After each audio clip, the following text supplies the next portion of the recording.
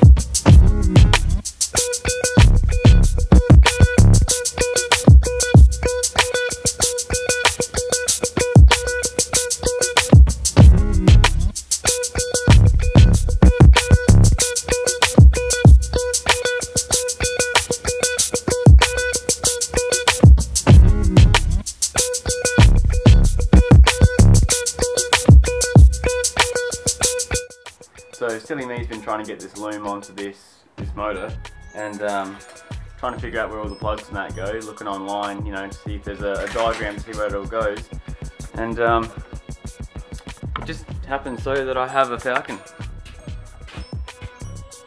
So why don't I just look at that? Pretty sure I'm going to get this question, but uh, this is my very dirty 2006 BF Falcon. It is a 6 manual. It's a XR6 turbo. Nothing special really.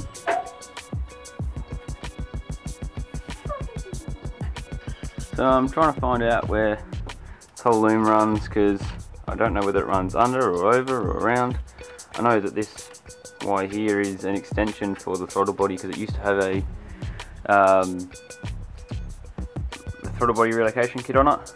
Um, so, but it should give me enough info. I should be able to see where the loom all runs um, in order to, to get mine on. Just run all the the plugs in that. I fitted it as best I could. Uh, these are your cam sensors on the back with a head temperature sensor. Uh, these are all your coil. These are your rear four coil um, plugs. So the, the rear four coils run on one separate loom that run up from the back here. Um, that's your transmission stuff that I'm not going to use, but I'm going to keep it on the loom. Um, these are injectors. So that's the injector one. That's actually another injector one that needs to come back forwards. So stuff that back around there, coming in there. Um, another injector one, another injector one. Then you have these four plugs at the front here. Um, so two of these are your your variable valve timing uh, plugs, and the other two are the other the front two coil plugs.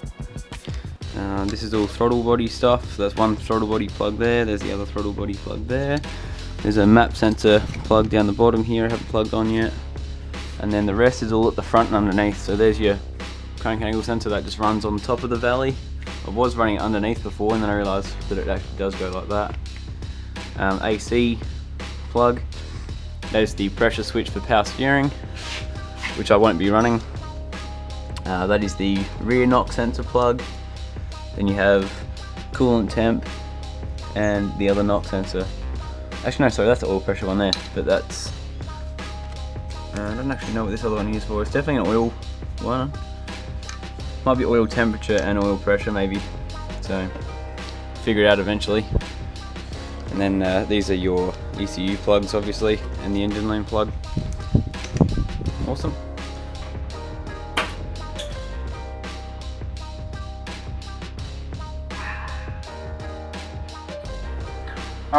So loom on. Next to the sump, uh, I also need to check the input shaft bearing, bearing, input shaft on the gearbox to make sure that the clearance is going to be uh, adequate. Um, I've heard a few people say they don't need to with the Castlemaine rod shop ones, but to double check and I might just take a couple mil off of it just to be sure. Another thing I have to do is clean out the engine bay and um, tidy up of the wiring in that. Um,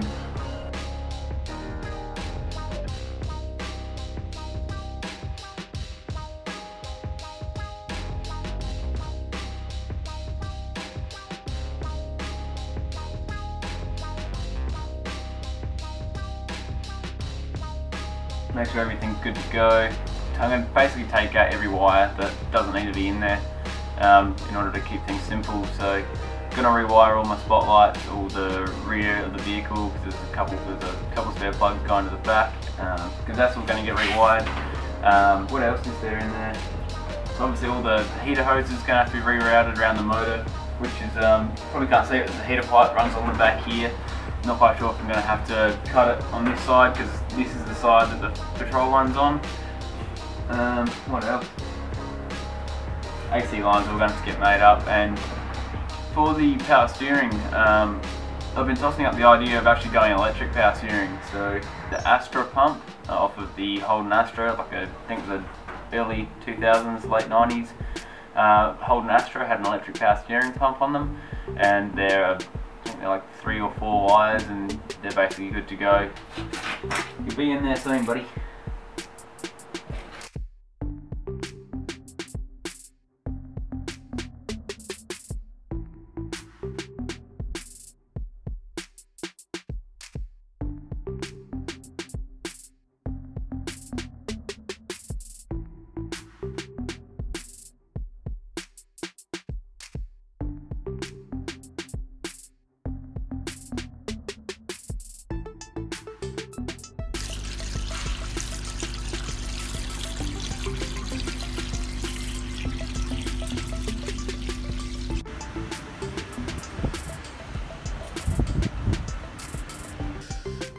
So I was trying to get the sump on the other day uh, and quickly found out that it won't fit due to this uh, windage tray or uh, what's the word girdle um, that's on the BA motors. So I've um, I've ordered one of these from Ford. It was like $70 for a new windage tray off the FG. So I ordered one of them. I also ordered a, uh, a new O-ring for the, the oil pickup. So this is the girdle off of the BA version and uh, needed to purchase this one off of a FG in order to uh, to fit the FG sump on. It's just slightly narrower uh, and just all the cutouts are all in different places so uh, I've just loosened all these off so we'll take that off and bring this one on.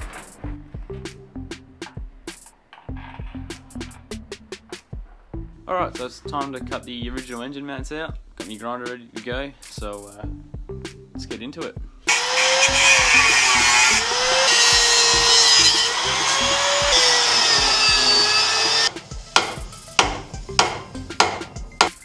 So the engine mounts are all ground off. I've uh, ground that one off there, cleaned it up a little bit, haven't cleaned it up a lot.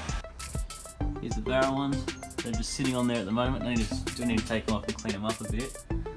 Yeah, they're on there, so it's all coming together.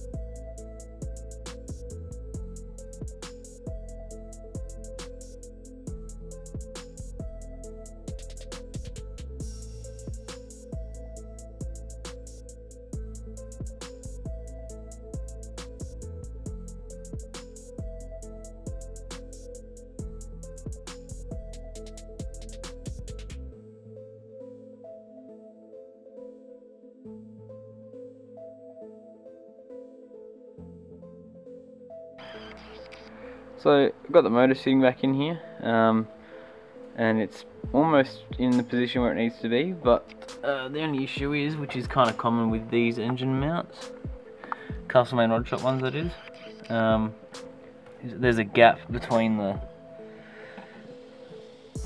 chassis and the um, and the mount. So, so what I'm going to have to do is get some, some plate and plate the chassis out uh, and towards the engine mount in order to get that to work.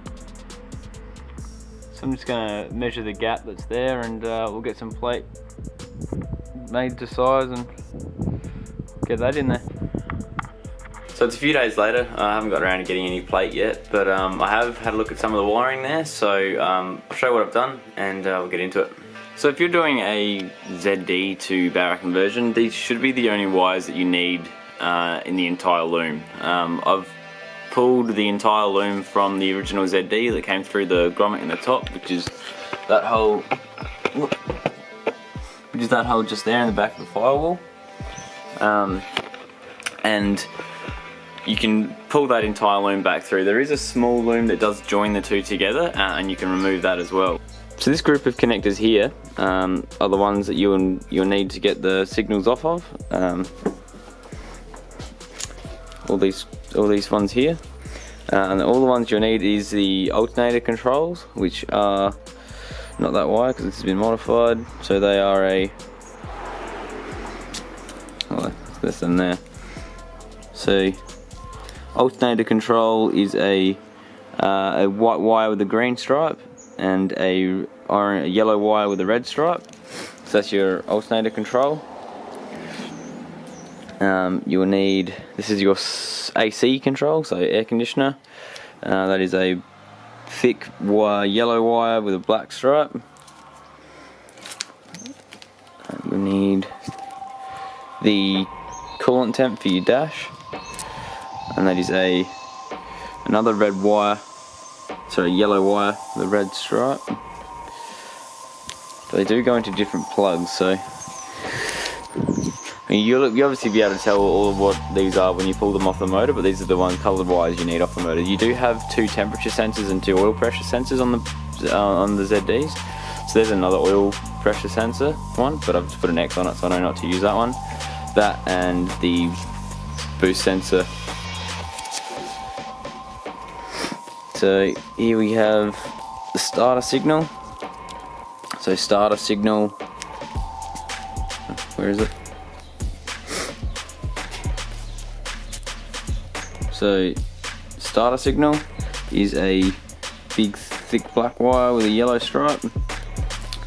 And you'll also need oil pressure which is a plain orange wire. That was the start one. Uh, and that's the alternator it well, well went to the alternator for the earth um, so we may have to use that still. So these are all the wires that I've stripped out of the loom. So that one is for glow plugs so we don't need that one. This one here is the uh, alternator cable. These uh, alternator cables we're obviously going to have to remake so all different lengths. So this loom right here is the one that joins between the ZD loom and the loom from the, the fuse box. So that joins from the fuse box into the loom that goes into the firewall. So this end here will go into the, brighten up a bit. So this plug here will go into the ZD loom that goes into the ECU. Um, and this end here is for your um, the originally the, the map sensor, um, boost solenoids, and uh, another another temperature sensor that you don't need. It's all for the for the ZD side of things. You can throw that one out. Uh, and the only other one that was in there was the main starter cable, so we're going to have to remake all them so they can get thrown out. So the loom that all these wires is on is the um, transmission or also the transmission loom. Uh, and originally all these wires ran from here, from down the side here, they ran up. Uh, and then all the way around and across the front. So all I did was unpick everything off the loom uh, and pull out those individual wires. Um, I thought it was going to be a lot harder than it was. I thought I was going to have to muck around with stuff on the ZD loom itself. Um, turns out I didn't have to. So that loom that you just got fed all the way back through, one I'm going to use that grommet hole for, is running the OBD and throttle pedal wires into the cab from the ECU. I need to try and figure out where how to mount a lot of stuff now, so I have the electric power steering pump that I've got. I don't know if you guys got me on Instagram, but uh, Ben Ben Keene Official uh, is my Instagram name. I'll chuck it on the screen here. Um, I have a Astra power steering pump uh, to go on there, and I also need to make a bracket for the alternator and for the little fuse panel box that we've got. So um, the Astra power steering pump is hiding in here somewhere. So here we have the Astra Power steering pump, so I've got to make a bracket up for that somewhere. Um, that was really good, I got like 70 bucks, so that's going to go in there somewhere. If anybody wants any older ZD parts, let me know, there's fucking heaps here. Once again guys, thanks for watching. Uh, in the next episode I'm going to be using HP tuners to remove the security system from the ECU that I have for the Barra. Um, yeah, the other thing I'm going to be doing is some of the fuel pump stuff. So I have a Walbro 460 that we're mounting to the fuel sender unit that goes into the, the main tank. Um, so I'll have some info on that and uh, a little bit more um, on how it all goes together and how you can adapt the diesel fuel tank to the petrol. Um, I know I said that um, the motor should be welded in by now, but uh, the, the, dude that's uh, welding it in for me has uh, been moving house and doing a few things, so he's been busy person lately. So um, he should be uh, he should be free soon. So next weekend um, I should be able to get uh, the motor all welded in and uh, and all good to go. Uh, I've also come across a few like clearance issues and little kind of things like that um, regarding like intake manifold and turbo. Um, so that'll all be in the next episode. Uh, once again, guys, thanks for watching. See you on the next one. Cheers.